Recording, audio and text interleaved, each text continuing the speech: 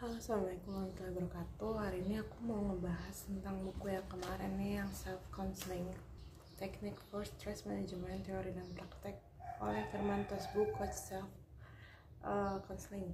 Kemarin kan aku udah ngebahas tentang uh, namanya pengertian stres dan lain-lain. Kemudian hari ini aku mau ngebahas gimana sih cara ngedetect uh, kalau kamu tuh sebenarnya stres atau enggak deteksi dini aja sih. Dulu tuh aku pernah kayak di tes gitu sama suamiku karena suamiku seorang konsel konselor. Dan ini tuh ada kayak uh, sebuah apa namanya kayak tabel yang berisi tentang kayak pernyataan gitu. Kayak pernyataannya itu misalkan satu masa sekarang kamu tuh merasa cemas atau tegang atau kamu merasa bingung, marah dan sangat sensitif memendam perasaan dan lain-lain, ntar tuh kita uh, ada skalanya. Kalau skalanya TP tidak pernah itu di skor 1, kemudian di jarang itu ada di skor nomor 2. Kalau misalkan kita kadang-kadang merasakan seperti itu, kita masuk ke skor 3 dan nanti kalau misalkan sering itu kita masuk ke uh, skornya 4. Nanti dari apa pernyataan-pernyataan di sini sekitar ada 30 pernyataan kita tulis kita ada di skor berapa. Nanti hasilnya itu cara pengolahannya uh, kalau misalkan kita nyentang-nyentang gitu kita cobain kan. Misalkan yang satunya ada 5 berarti tambah skor 5 yang nomor tiganya ada 4 berarti tambah 12 nah kalau misalkan skornya itu 0 sampai 30 itu berarti kamu itu nggak stres atau uh, bisa dibilang stres yang dikategorikan yang menguntungkan individu. Kemudian untuk kategori yang kedua yaitu apabila skornya itu uh, dari 31 sampai 60 itu dikategorikan sebagai kurang merasakan stres yaitu stres kategorinya masih dibilang menguntungkan individu kemudian skor yang ketiga yaitu uh, apabila jumlahnya itu sekitar 61 sampai 90 itu berarti kamu itu udah stres atau uh, yang bisa dibilang stres kategori merugikan individu. Kemudian uh, kalau misalkan kayak nilai maksimal gitu, nilai maksimal itu di 91 sampai 120 itu dikategorikan kamu itu sangat stres atau stres uh, yang benar-benar merugikan individu. Jadi aku pernah sih ternyata hasilnya tuh stres di sekitar 91 sampai 120 nah uh, menurut Witten dan Enhammer tahun 2009 yaitu stres itu dibagi menjadi dua. Yaitu yang pertama eustress sama distress apa sih bedanya eustress itu jadi kayak stres yang menguntungkan individu? Yang kayak yang tadi disebutkan di atas. Emang gimana sih stres yang menguntungkan individu? Jadi yang bisa menambah kayak produktivitas kita dalam bekerja ataupun membuat kita lebih bergerak karena kita punya tanggung jawab dan lain-lain.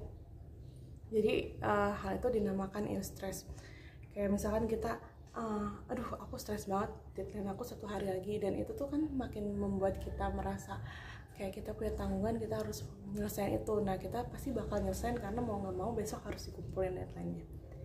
Uh, walaupun nggak maksimal tapi seenggaknya itu merupakan stres yang merupakan stres yang positif. Kemudian distress ada distress yang uh, adalah stres yang merugikan stres yang merugikan stres yang merugikan uh, apa namanya sehari-hari kita. Jadi kalau misalkan distress itu kayak kita udah udah uh, stres nih. Jadi mau ngapa-ngapain tuh males banget. Percuma aku ngelakuin juga nggak akan selesai nggak akan ada ujungnya nggak akan ada uh, closure-nya. Jadi itulah yang dinamakan dualisme stres yaitu eustress dan distress sebenarnya kita tuh bisa mengelola stres kita dengan salah satu caranya adalah self talk jadi tuh kalau misalkan ada situasi kemudian kita kepikiran nih pikiran terus kan diem aja kan hmm. Kalau misalkan kita ada self talk sama diri kita sendiri nanti kita tuh pasti bahkan mengeluarkan sebuah perilaku. Jadi uh, ada beberapa ada beberapa itu juga ada beberapa cabang juga dari self talk self talk ini. Yaitu yang pertama uh, ini jadi tuh kita punya pola ya. Kalau misalkan situasi kita negatif tapi kalau misalkan self talk kita kayak positif oh iya aku bisa nih ngerjain ini itu pasti konsekuensi perilaku itu pasti bakal positif. Jadi si orang yang stres itu bakal lebih positif pemikirannya. Sedangkan kalau misalnya situasi yang negatif dan self talk kita negatif yang kita oh seperti saya tidak bisa gitu itu pasti bakal mengeluarkan konsekuensi uh, perilaku yang negatif. Karena udah tertanam di pikiran kita tuh kayak ah, kayaknya nggak bisa deh uh, kayaknya bukan bukan gini deh. Jadi tuh nggak self talk itu benar-benar mempengaruhi diri kita diri kita itu. Cuma diri kita yang bisa kontrol.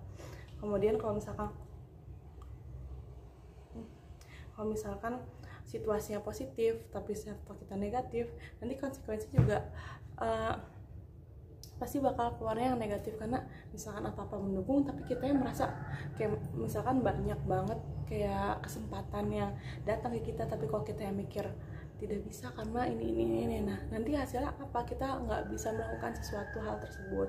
Kemudian yang keempat itu ada uh, misalkan kita situasinya positif semuanya mendukung dan kita tuh juga mendukung juga untuk melakukan sesuatu self talknya positif nanti pasti bakal konsekuensi perilakunya itu akan mengeluarkan hal yang positif juga. Jadi kita lebih benar-benar melakukan hal yang oke okay, apa yang kita plan apa yang kita pikirkan. Dan itu tuh ntar bakal nyambung gitu.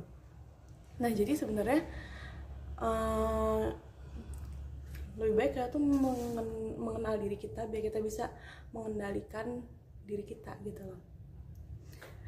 Jadi ya stres itu sebenarnya bisa di mana di manajemen bisa di manage gitu. Jadi ya sekian dari saya. Wassalamualaikum warahmatullahi wabarakatuh